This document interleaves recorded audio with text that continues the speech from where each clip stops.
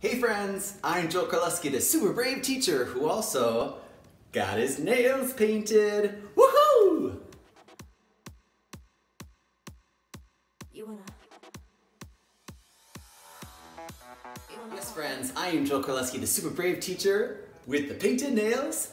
And if you like the painted nails, you can like this channel, you can share this channel, you can do what you do by getting out the word about the super brave teacher because every time you click like, every time you share these videos, you are telling the world that people like me, gay teachers like me, LGBTQ plus teachers like me are important and we want to be visible and have our voices heard.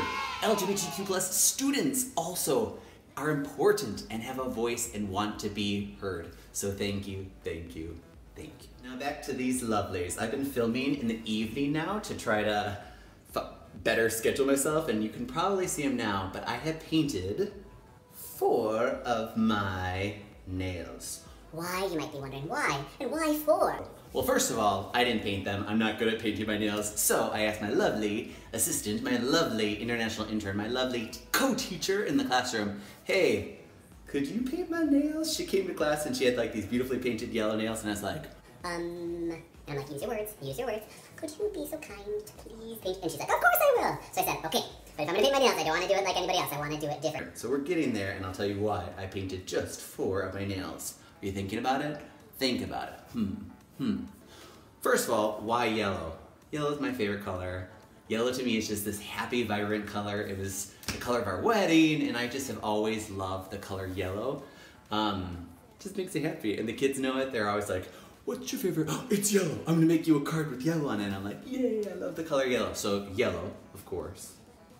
And also painting your nails, I think it's so important, especially as a male kindergarten teacher, that our boys, especially, and our girls too, see that it's okay for us to do things that are not gender conforming. So often you don't see men painting their nails, and it's like, exactly, that's why I'm gonna paint my nails because men can paint their nails too. And women don't have to paint their nails, and that's okay. You gotta do what is best and what is right for you. So me painting my nails, the boys are like, uh, uh. But then, you wanna know the coolest part? Kids start telling stories and they're like, Um, I painted my nails in preschool and they never made fun of me, so I stopped. But I really liked it. Or, my brother painted his nails and I think it's really cool, but he stopped because he got made fun of. And I kept hearing all these stories of like, I want to paint my, fing- my, my fingernails, my, my toenails, whatever, but I keep getting made fun of. And I'm like, wait a second. No, I'm one of your favorite people in the world, your teacher, is painting their nails to show you that it's okay to do you.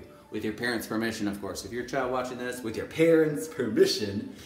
But yeah, it's important for them to see a lot of variety of people doing different things. So right away, like the color yellow, and it's important for kids to see diversity in even with the little things, right? But why four? It was really important for me to do something different, like I said earlier. And four for me is a is a number. I, I wanted to look up a lot of research, and I was researching bullying and what happens to especially LGBT youth. And I came across this statistic that said four out of ten. You're tracking, good job. Four out of ten LGBTQ plus youth are physically bullied for being who they are. Four out of ten. Eight out of ten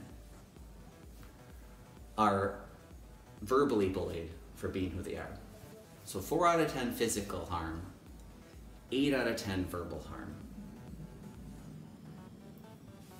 Like I do on this channel, I'm pausing so you take that in.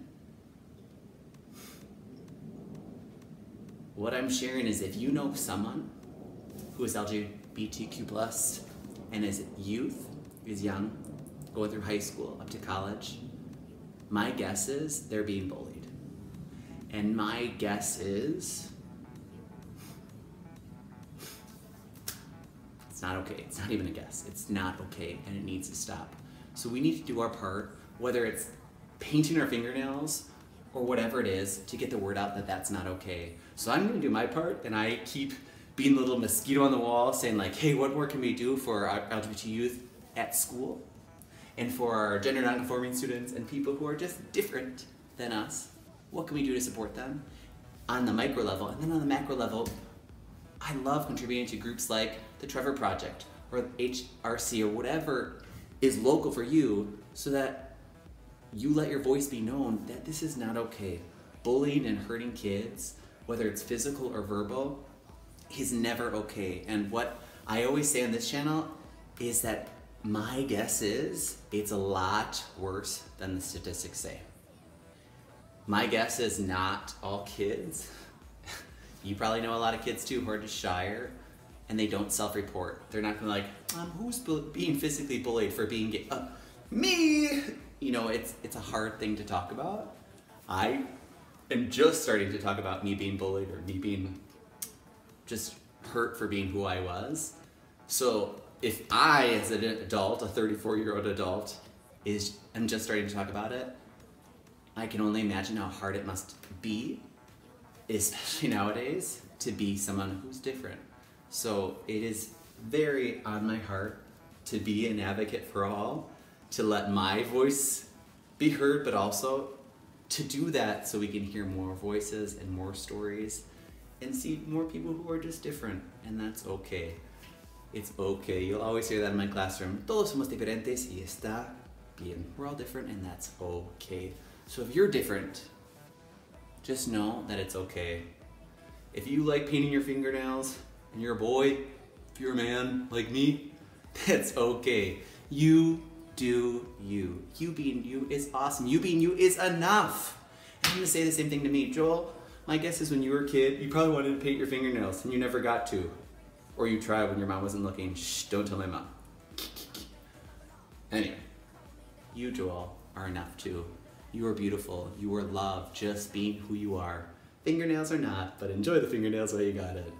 Friends, thank you for being you. You are awesome. Bye!